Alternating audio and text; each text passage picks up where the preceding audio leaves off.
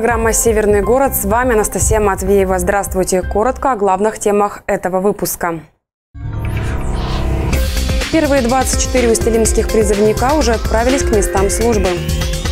Делать самим, делать красиво. В Устилимске решили привлечь к созданию новогодних городков школьников и местные предприятия.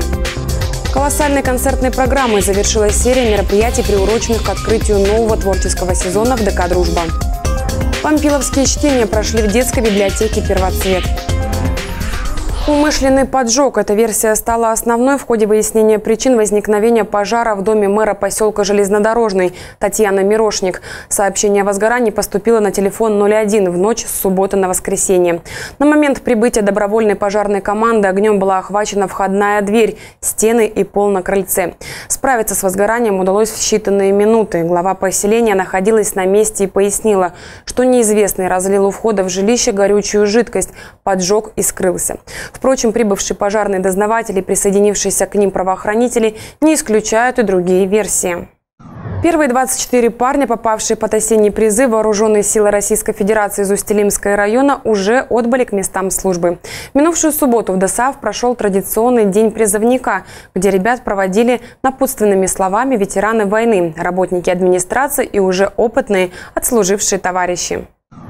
Всего за время осеннего призыва в ряды вооруженных сил планируется призвать 140 жителей Устилимской района в возрасте до 27 лет. 15 ребят удостоились чести служить на одноименном нашему городу малом противолодочном корабле, которому местная администрация и меценаты традиционно оказывают спонсорскую помощь. Наверное, в самом разгаре осенняя призывная кампания. На сегодняшний день уже проведено 4 призывных комиссии. Э, призвано вооруженные силы порядка 40% наших призывников, которые подлежат отправке. Ну и э, на следующей неделе мы отправляем первую команду в количестве 24 человек, которые пополнят воинские части Центрального, Восточных военных округов. Э, мы планируем до середины ноября закончить призыв граждан вооруженной силы и конечная отправка у нас состоится в начале декабря месяца. Военком отметил, что количество призывников сокращается год от года. Это связано с тем, что армия все больше прирастает контрактниками. Однако полностью отказаться от призыва срочников, скорее всего, никогда не получится. Службу сегодня все чаще называют не долгом, а почетным правом гражданина. Это и понятно. Служилому везде открыты дороги. И при поступлении в вузы, и при устройстве на работу. С учебки ты переезжаешь в какой-то, например, ВДВ, морфлот, я не знаю, куда, там уже сами перечислят меня, куда отправят там уже, глядишь, решат все. Главное попасть в хорошую учебку. А так желание есть, конечно, служить, чем же остается. Уже не убежишь никуда.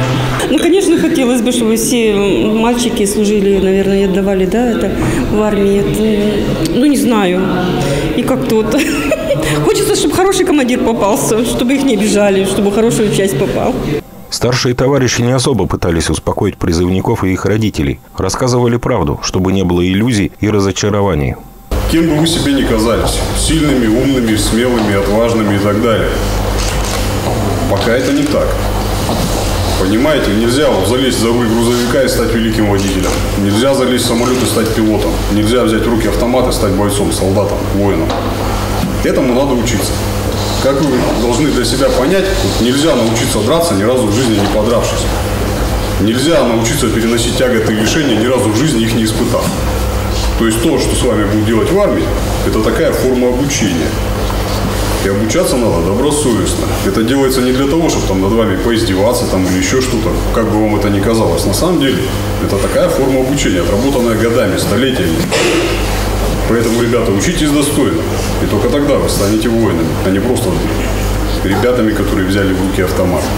А вот ветеран Великой Отечественной войны Алексей Скрипак с годами даже постиг мудрость такого неувлекательного, на первый взгляд, документа, как воинский устав. Прежде всего, выучить устав вооруженных сил. А в уставе там конкретно написано, конкретно сказано, что ты должен делать начиная службу с подъема. Подъем на физзарядку, учиться выполнять все приказы командира, то есть научиться быть подчиненным, научиться выполнять приказы. И не только выполнять, просто выполнять, а выполнять со своей инициативой. Напутствовать новобранцев решили больше десяти представителей городской и районной администрации, общественных организаций, депутатов и ветеранов. Мероприятие затянулось почти на полтора часа. Без культурной программы было бы тяжеловато.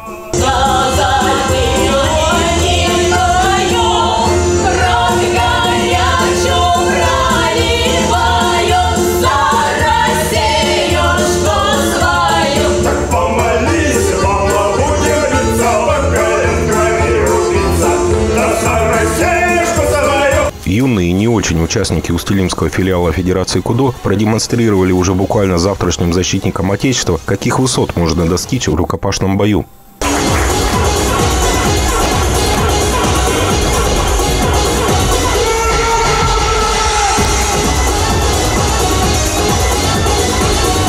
Максим Сизых, Александр Килин. Информационная программа «Северный город».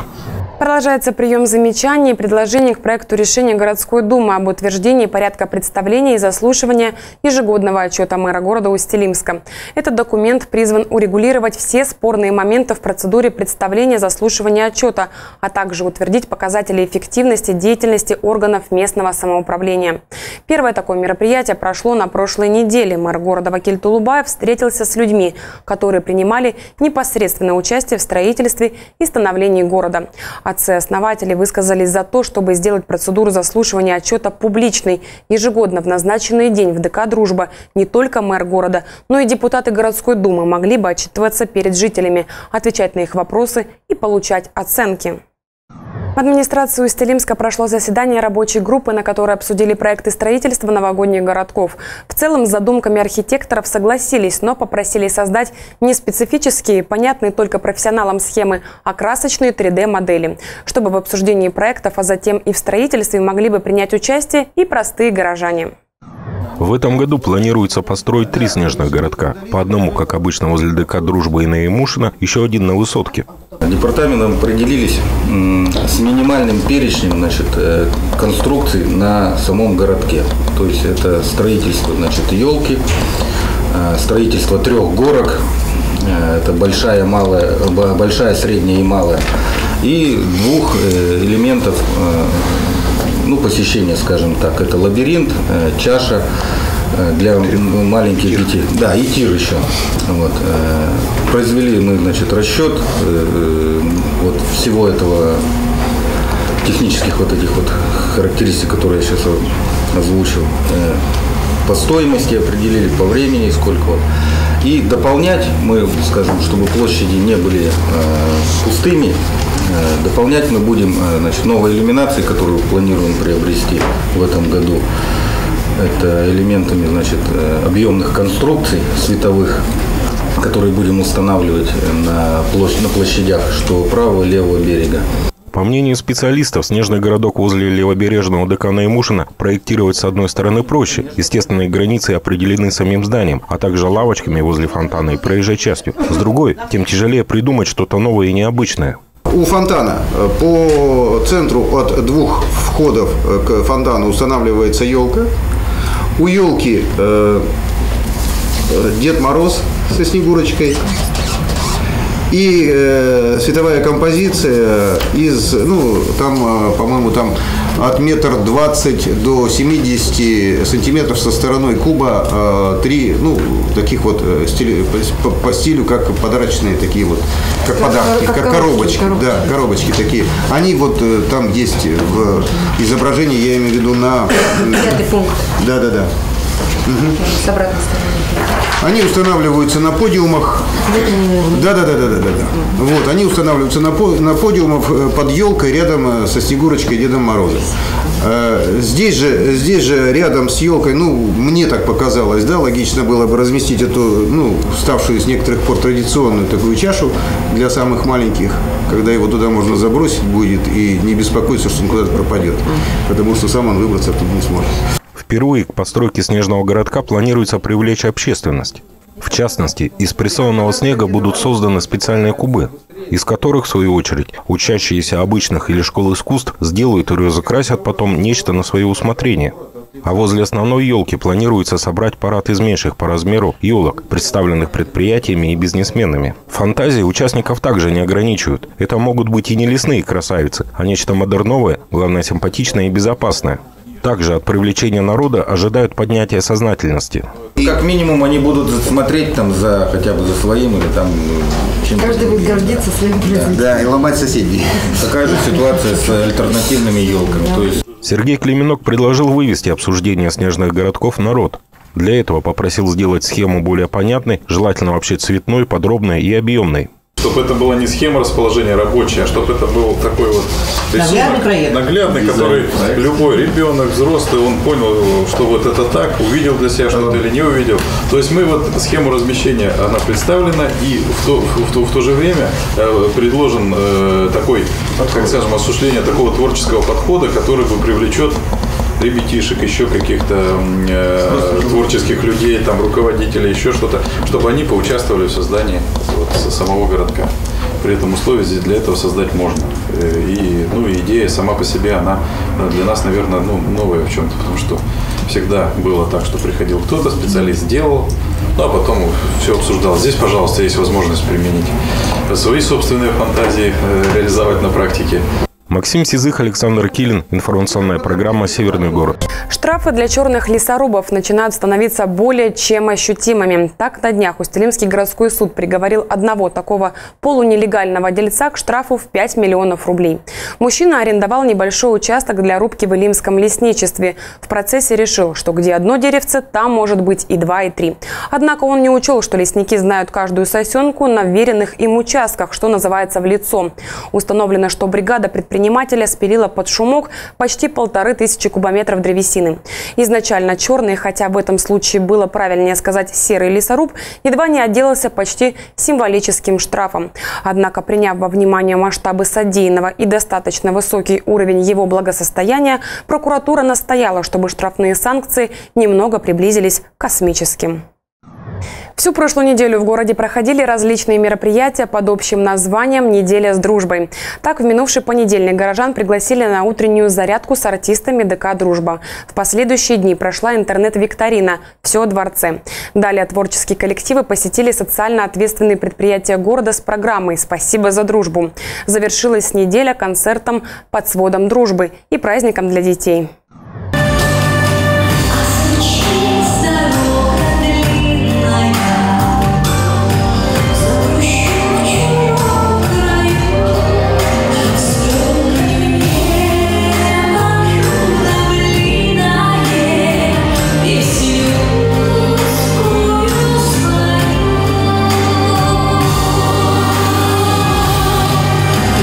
Дворец культуры открывает э, новый э, 31-й творческий сезон.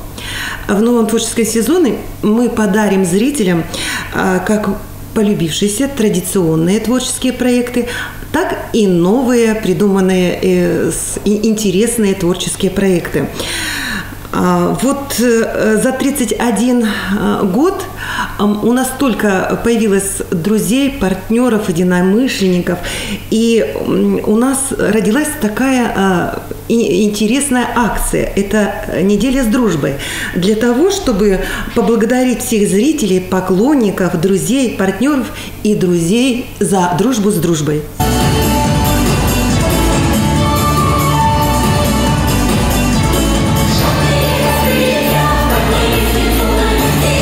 Однако после пулеметной очереди из акций во время недели с дружбой праздники не заканчиваются. Так, в середине ноября будет проведено мероприятие «Ее Величество Женщина». В этом своеобразном конкурсе, раскрывающем многогранность прекрасного пола, пожелали принять участие все основные предприятия и учреждения города. Не забывают про детей. У нас третий год успешно реализуется проект «Школа фольклора Истоки». Этот проект э, для детей, и он направлен на изучение традиционной культуры сибирского региона. Этот э, проект предусматривает пять занятий. Это театрализованные представления и практические занятия. Также организаторы из дружбы придумали, как помочь детям выбрать профессию, чтобы это не было скучно. Для детей еще мы тоже готовим массу много творческих проектов. Это а, мы решили э, провести сладкие праздники для детей. Это эм, в связи с юбилеем, в 2018 году юбилей нашего города, э, и эти праздники пойдут циклом. Цикл театрализованных таких э, программ, где будем рассказывать э, ребятишкам о устилимских предприятиях, которые... Э, это сладкие праздники, допустим, начинается праздник лимонада. А у нас они познакомятся, как выпускают эту продукцию. Праздник пряника, а, праздник торта, а, праздник шоколада, мороженого и так далее, э, где потом в конце э, завершится этот праздник фестивалем сладостей. Ирина Яковлева, Максим Сизых, Александр Килин. Информационная программа «Северный город». Молодежным парламентом при Законодательном собрании Иркутской области в целях патриотического воспитания, сохранения и популяризации исторических знаний, а также оценки уровня исторической грамотности жителей региона инициировано проведение областной акции «Тест по истории Иркутской области». Тестирование пройдет 28 октября на всей территории Приангария. В Усть-Илимске оно будет организовано во всех городских школах с 12 до 15 часов. Также в этот день тест можно пройти в онлайн-режиме на сайте Заксобрания Иркутской Иркутской области. Из-за развития интернета и электронных книг библиотеки все больше превращаются из не имевших конкурентов хранилищ знаний в культурные учреждения, где умеют заинтересовать и просто объяснить о выдающихся произведениях и авторах. Так, на днях в Центральной городской детской библиотеке «Первоцвет» прошли вампиловские чтения, посвященные 80-летнему юбилею нашего писателя-земляка. Я проклинаю тот день и тот час, когда впервые сел писать рассказы. Мне ненавистны те люди, которые говорили, что у тебя все получается. Сколько раз я пытался бросить, но легко сказать, бросить писать. Нужно избавиться от тысячи дурных привычек и приобрести две тысячи хороших. Можно стать вежливым, чутким и бескорыстным. Можно бросить пить, курить. Можно бросить, наконец, жену, детей. Но бросить писать Человек, раз напечатавший рассказ, уже никогда не становится печатным. В этом году вся наша страна отмечает 80 лет нашего славного земляка Александра Валентиновича Вампилова. И мы, конечно, в стороне не остались. Наша библиотека «Первоцвет» сегодня проводит вечер, музыкально-литературный вечер «Вспоминайте меня весело». В вечере участвуют учащиеся 11 классов школы номер 7.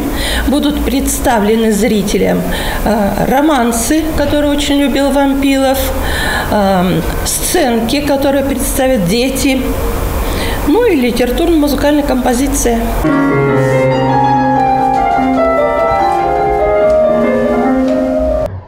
Этом наша программа подошла к концу. Как будут развиваться события, мы расскажем в среду. А я желаю вам всего доброго, берегите себя.